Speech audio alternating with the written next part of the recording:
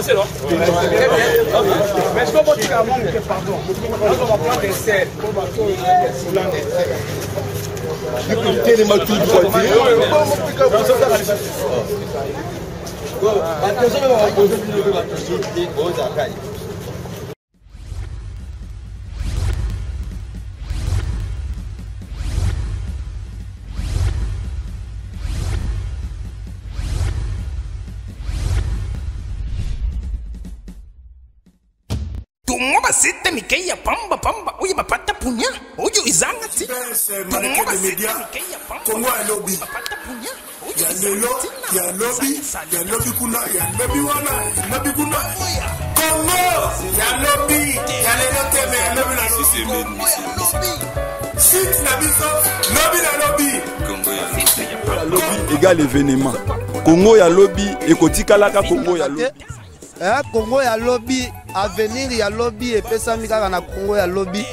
avenir ya jeunesse. Congo ya lobi puka na masolo yango oyo, suka na masolo yango oyo. Bon, Congo ya lobi yango na emergence ya moto to ya mboka. Congo ya lobi www.congoyalobi.net epai ya jbs le mannequin du média soki ete na mboka oyo nani lisusu akende kaka toujours liboso liboso ti likolo awumela mwana mboka kongo ya lobi yango nde ya biso kongo ya lobi kasi ya bilenge ti yango na lobi ezali ya bajeune ezali ya babino ezali ya babiso kongo ya lobi en tout cas kongo ya lobi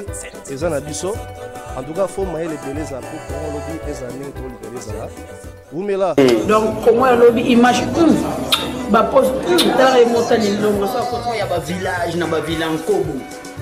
eh? ekotaka na se ya mai ekotaka na lola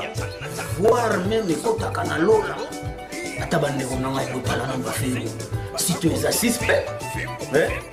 epuis satana soki apati pati kamera ekokota na lifelo toki kaba baimage toye na yango site eza moko soki oza na 4 coin ya monde